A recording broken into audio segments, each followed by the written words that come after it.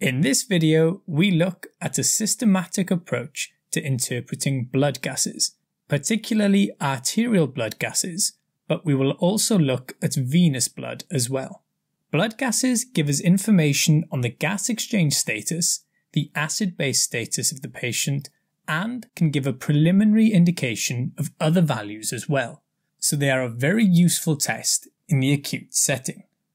As with most investigations, the first step is to confirm that your ABG is that of the correct patient. This includes the date and the time and any previous blood gases to compare with.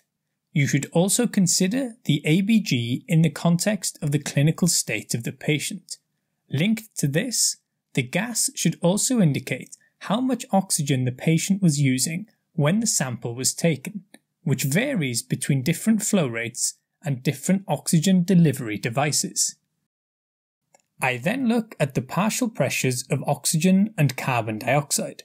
This is effectively a measure of the amount of oxygen and carbon dioxide dissolved in the blood. Normal PO2 is above 10 kilopascals on room air, and if on oxygen, should be 10 less than the fraction of inspired oxygen. For example, 2 litres of oxygen through a nasal cannula delivers around 28% oxygen, so the PO2 should be above 18 kilopascals. This is why the flow and oxygen delivery device needs to be recorded. If the PO2 is below 8 kilopascals, this is considered respiratory failure, of which there are two main types. Type 1, where oxygen levels are low, but carbon dioxide levels are not elevated or type 2 respiratory failure, where carbon dioxide levels are high, called hypercapnia. The normal range is roughly 4.5 to 6 kilopascals. An easy way to remember this is type 2 has two gases affected. Type 1 is mostly caused by poor oxygenation of the blood, most commonly due to ventilation perfusion mismatch. For example, pulmonary edema, where ventilation is reduced and perfusion is normal, or pulmonary embolism, where ventilation is normal but perfusion is reduced. Other causes include high altitude, shunting, and diffusion problems where oxygen cannot diffuse into the blood properly. Type 2 respiratory failure is present when the PCO2 is above 6 kilopascals, which occurs as a result of reduced ventilation and therefore less exhalation of carbon dioxide from the lungs. We'll come back to this as it is closely linked to the acid base portion. I include hemoglobin and other variants of it, such as carboxyhemoglobin and methoxyhemoglobin, here as well, because these are easy to overlook on an ABG when they actually give some information on the oxygen carrying capacity of the blood. The hemoglobin level may not be particularly accurate, but it can help give a rough idea of the presence or absence of a severe anemia. Carboxyhemoglobin is when carbon monoxide binds to hemoglobin instead of oxygen, and it does this 200 times more strongly than oxygen does, meaning less space is available for hemoglobin to transport oxygen. Normal values are typically less than 3% in non smokers and can be as high as 15% in smokers, although symptoms such as headache typically appear at around 10%. Next is the pH, which should normally be between 7.35 and 7.45. This is based on the concentration of hydrogen ions in a solution, with higher concentrations of hydrogen ions giving a lower pH, indicating a more acidic environment, and vice versa. pH values below 7.35 indicate acidemia, while values above 7.45 indicate alkalemia.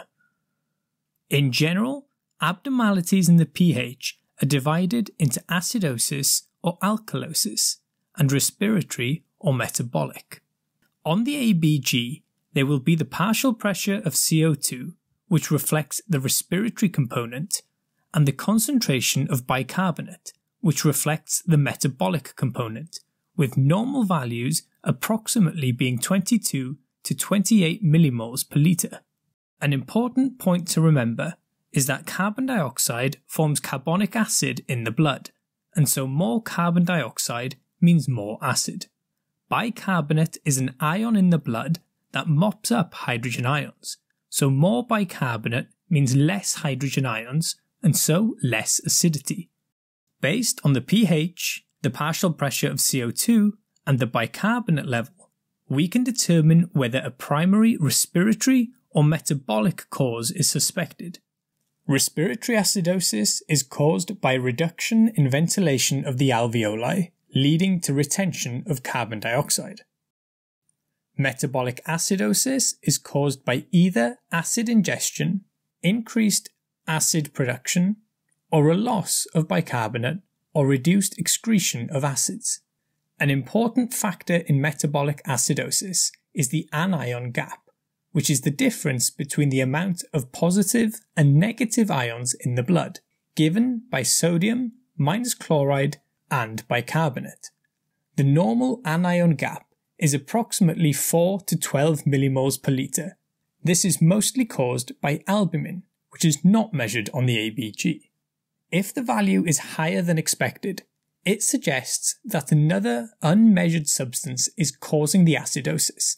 For example, in diabetic ketoacidosis, the unmeasured substance not on the ABG are the keto acids. Generally, the causes can be divided into lactate, toxins, ketones, or renal, and the mnemonic MUDPILES can be used to remember some of the more specific causes. Causes of normal anion gap metabolic acidosis are generally gastrointestinal or renal losses of bicarbonate and renal tubular changes. Specific causes can be remembered with the mnemonic HARDUP. Respiratory alkalosis is caused by excess carbon dioxide being exhaled due to hyperventilation, while metabolic alkalosis is caused by an overabundance of bicarbonate either through excess loss of acid or excess presence of bicarbonate. Remember that there are mechanisms in the body that work to keep the pH within the normal range. This is known as compensation. For example, if carbon dioxide is causing a change in the pH, the kidneys can adjust the amount of bicarbonate in the blood to counteract this, and it also works vice versa. If changes in bicarbonate are causing the change in the pH, the body can adjust ventilation to increase or decrease the carbon dioxide to compensate. Generally, compensation through ventilation will happen faster than changes in bicarbonate that may take several days. We touched on lactate within acidosis, but lactate itself is an extremely useful marker as it is a byproduct of anaerobic metabolism and some is produced normally in the body and excreted mostly through the liver and kidney. However, lactate can act as a marker for underlying disease, typically as a result of inadequate oxygen delivery to tissues, meaning they need to use more anaerobic metabolism than normal. Examples include muscular activity, for example in seizures where there is anaerobic muscular activity, hypoperfusion of tissues, especially in sepsis, or not enough oxygen in the blood that is being delivered to the tissues, for example, hypoxemia or anemia.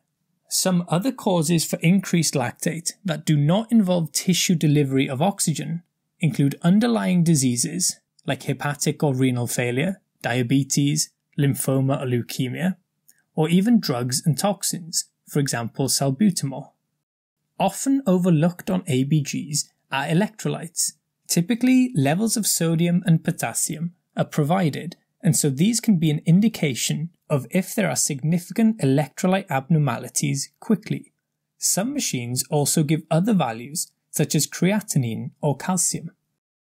Blood glucose is also on the ABG, that can again help to give more of an indication of an underlying problem for example in patients with low conscious levels or who present with seizures. Here are some additional tips when it comes to blood gases. Venous blood gases are typically significantly easier to obtain, as they can be done during regular blood taking and are generally less painful. So it's useful to know that the pH, lactate, and bicarbonate on venous blood gas are accurate and very close to the arterial blood gas values. The partial pressure of oxygen will not correlate between the two, but partial pressures of carbon dioxide levels do to some degree. Evidence suggests that in cases of COPD on non invasive ventilation, the difference may not be clinically significant, which may save the need of repeated ABGs. It's important that when taking a blood gas, that all of the air is removed from the syringe when the blood is drawn, as if air is left in the syringe with blood, the gases will diffuse between each and invalidate the results. A normal partial pressure of carbon dioxide in a patient suffering an asthma attack is a worrying sign, as you would expect hyperventilation and therefore reduced carbon dioxide levels. A normal or high partial pressure of CO2 can indicate that they are tiring, ventilation is decreasing, and they are likely heading towards respiratory arrest.